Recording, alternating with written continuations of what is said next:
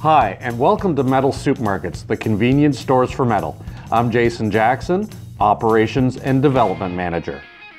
One common question we hear at metal supermarkets is, what is the difference between ferrous and non-ferrous metals? Well, today we'll take a look at the answer. The simple answer is that ferrous metals contain iron, while non-ferrous metals do not. Ferrous metals came into existence around 1200 BC, when iron production became more common in the Iron Age. Commonly used ferrous metals include alloy steels, carbon steel, and wrought iron.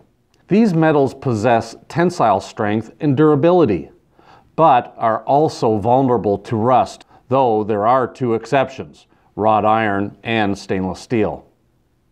Most ferrous metals are also magnetic, making them useful in motor and electrical appliances.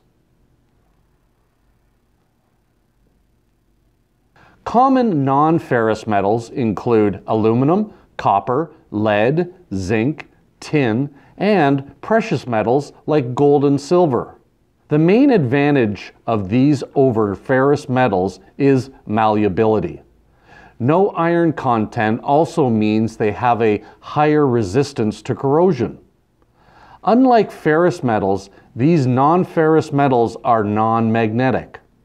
This is important for electronic and wiring applications.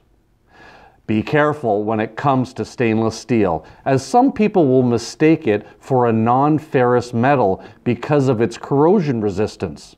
But it actually is a ferrous metal. Hopefully this video has helped you understand the difference between ferrous and non-ferrous metals. If you need metal for your next project, Metal Supermarkets is the world's largest supplier of small quantity metals, carrying over 8,000 types, shapes, and grades of metal, cut to size and ready fast.